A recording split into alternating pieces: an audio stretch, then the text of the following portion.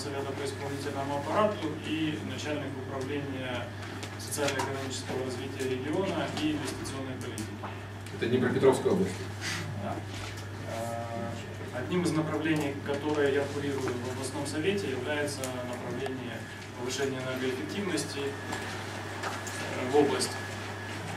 Э, Если говорить, да, не знаю, что там эксперты говорили до меня, но в принципе о понятии политики энергоэффективности в целом, то ее очень сложно сформировать. Э, И чем выше мы поднимаемся, да, тем это понятие больше расплывается, и сложнее сказать, что у какой-то единицы есть э, понятие энергоэффективной политики. Да, то есть отдельная территориальная единица, скажем, город, э, село может иметь свою стратегию развития, свой план развития. То же самое имеется и в нашей области. Да? Мы имеем определенное направление, которое мы поддерживаем, мы имеем план работ, и все это выливается определенную стратегию развития. При этом уже поднимаясь э, дальше на уровень, э, скажем, государственный, уже сложно говорить о том, что существует какая-то единая энергоэффективная политика в государстве, потому что каждый регион развивается по-разному, и соединить это в единую какую-то концепцию очень сложно. Уже не говорю о международном уровне. Э, Ну, если вернуться на региональный, областной уровень, да, что же мы делаем Днепропетровской области для того, чтобы повысить энергоэффективность? Первым делом для того, чтобы делать что-то хорошее, нужно запланировать, что необходимо делать. Э, В 2010 году э, в области была принята программа повышения энергоэффективности на ближайшие 5 лет. Э, Основной целью программы являлось повышение уровня энергоэффективности, снижение затрат на 9,2%. При этом при повышении э, валового регионального продукта на 4,5%. Да? То есть э, путем сложных математических исчислений получается, что э, энергоемкость снижается на 22% где-то производства. Для реализации запланировано потратить более 6 миллиардов гривен, том числе это деньги э, крупных промышленных предприятий, это деньги из государственного бюджета, которые должны финансироваться на э, мероприятия по энергоэффективности, и это деньги регионального бюджета, в том числе областного и местных бюджетов городов, районов и сел. Э, Помимо этого, в последние несколько лет мы активно продвигаем тему технической помощи и э, грантового финансирования, да, то есть э, реализуем проекты совместно с международными фондами и таким образом привлекаем денежные средства. Э, э, Со времени начала работы программы, да, параллельно в городах области э, были разработаны муниципальные энергетические планы. Два города, Павлоград и Днепропетровск, делали это при поддержке технической помощи агентства США по международному развитию USAID. А, И еще три города, это Никополь, э, Терновка и Кривой Рог, они делали эти муниципальные энергетические планы при поддержке канадского ассоциации муниципалитетов в рамках проекта МЭМ. Все эти мероприятия городов, сел и районов э, вошли в одну региональную программу, которая и была таким образом сформирована. То есть э, формирование шло снизу вверх. Если мы посмотрим на развитие э, электроэнергетики региона, да, то можно сказать, что тяжело, тяжелый регион в плане нагрузки индустриальной. Э, Много металлургических предприятий горнодобывающих, соответственно, электроинфраструктуре потребления области промышленные предприятия занимают более 70%. Э, Если говорить о генерации, да, то все знают, что у нас э, западный Донбасс – это наш главный источник энергии, и поэтому, в общем-то, 82% электроэнергии области на данный момент производится именно на теплоэлектростанциях. При этом э, область обеспечивает себя на 90% энергоресурсов. Э, Для того, чтобы это как-то сбалансировать, э, да, нам уже некуда развивать существующие источники энергии, да, существующие предприятия. То есть у каждой ТЭС, у каждой ТЭЦ есть свои проектные мощности, и наращивать их очень сложно, потому что это длинные инвестиции. Те же угольные, скажем, новый блок, да, он строится там, в течение 3-4-5 лет, окупается еще дольше. Э, одним из э, способов как-то подтягивать э, свое внутреннее обеспечение является в том числе и продвижение альтернативных источников энергии. В нашей области мы активно сотрудничаем с инвесторами в плане развития солнечной энергетики. Э, Используя при этом э, поддержку на уровне всеукраинском, да, это зеленый тариф, когда электроэнергия, произведенная таким способом, э, Государственная национальная комиссия по экономии и регулированию энергетики покупает по тарифу выше, чем по тому, который продает, с целью стимулирования развития альтернативных источников энергии. Э, Государство предоставляет год на ввоз оборудования импортного, да, высокотехнологичного, современного, а также освобождает от уплаты налоговой прибыли на 10 лет при соблюдении вот, э, всех условий. Э, С нашей стороны, как местная власть, у нас есть Днепропетровское инвестиционное агентство, которое было создано для поддержки инвесторов. Оно работает не только на энергетику, оно работает на все крупные инвестиционные проекты, которые свыше э, 1 миллиона долларов, да, и условие главное это создание новых рабочих мест в количестве более 100 человек. Э, Инвестиционное агентство выделяет своего проектного менеджера, который э, курирует проект э, от э, инициации, да, от э, технико-экономической оценки, анализа проекта до его внедрения.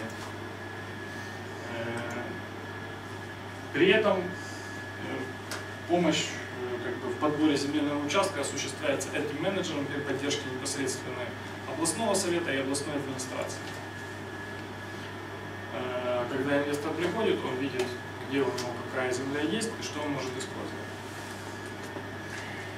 Если спускаться дальше, э, то э, если говорить об электроэнергии, да, следующий большой проект, который был инициирован э, областной властью, областным советом, это совместный проект с Фондом Восточная Европа, в котором также участвует американская агенция по развитию USAID и партнер компания Detect, социально ответственный бизнес. Это программа «Чистая энергия».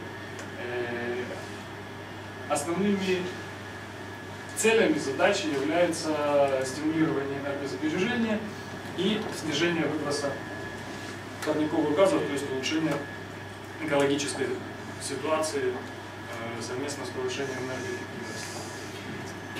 Э, В области реализовано 6, в 6 районах э, реализовано 8 микропроектов на общую сумму более 2 миллионов гривен. Основная суть проекта – это не только реализация вот конкретных восьми проектов, да, э, суть э, прививать людям, прививать громадам территориальным э, желание быть энергоэффективными, желание экономить на этом в первую очередь, и во-вторых, как бы беречь нашу экологию, которая и так находится в тяжелом состоянии. С этой целью проводятся различные тренинги, семинары, да, то есть разрабатываются стратегии. Э, но ключевым я считаю, вот если брать э, методологии, да, это четвертый и пятый пункт. То есть это реализация демонстрационных проектов, вот эти 8 микропроектов, о которых мы говорим, и дальнейшее их тиражирование. Потому что после того, как был реализован этот проект за деньги областного бюджета, за грантовые деньги, скажем, в городе Павлоград, мэр сам после этого инициировал два подобных проекта уже за деньги местного бюджета, за деньги социально активного бизнеса и за деньги, которые громада сама э, вносила в эти проекты. Да, среди проектов есть э, проекты по освещению улиц, есть проекты по установке солнечных э, батарей в детских садах, есть проекты по реконструкции систем теплоснабжения, тоже с использованием альтернативных источников энергии. Э, Если уходить от э, электроэнергетики к тепловой энергии, да, то, в общем-то,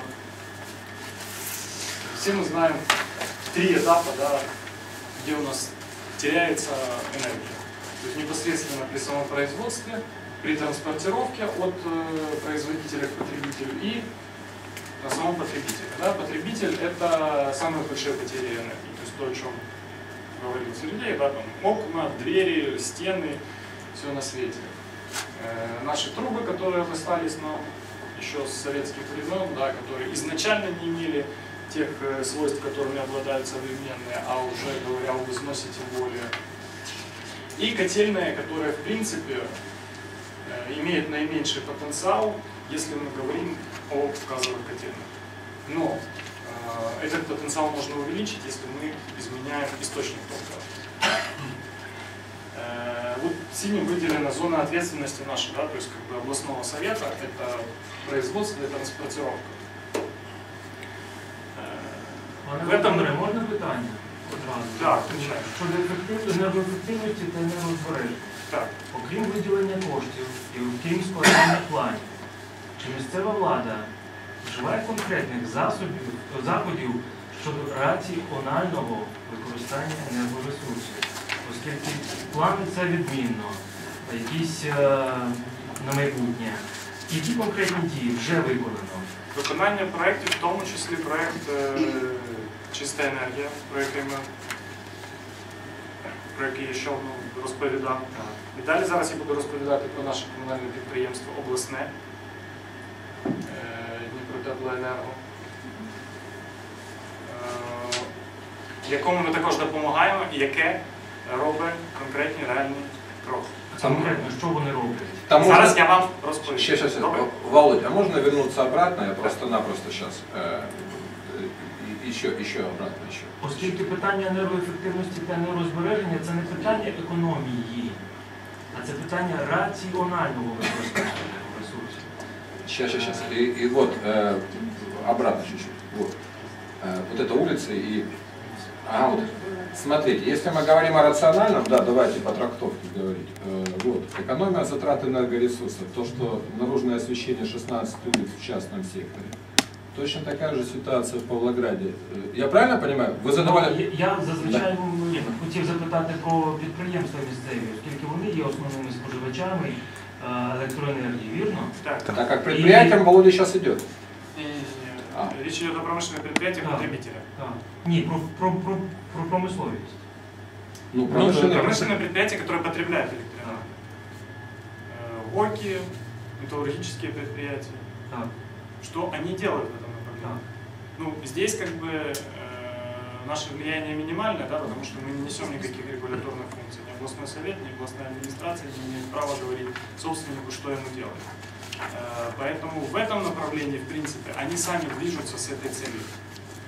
Э, Потому что каждое предприятие хочет быть эффективным. А эффективность, особенно если брать, например, горные металлургические комбинаты, да, там, где энергозатраты колеблется от э, 25-30 до 80 процентов, то это в их личных интересах экономить ресурсы и рационально их использовать. Але ж питання стоїть наразі не таким, е, не в такий спосіб, а держава, приміром, е, виділяє електроенергію за пільговим тарифом, замість того, щоб якимось чином вплинути на те, щоб вони споживали менше її або раціонально. Ну, во-первых, э, давайте опять же разграничим то, о чем я говорил с самого начала. Есть национальный уровень, там, где принимаются определенные законы и постановления, на которые мы не имеем права влиять.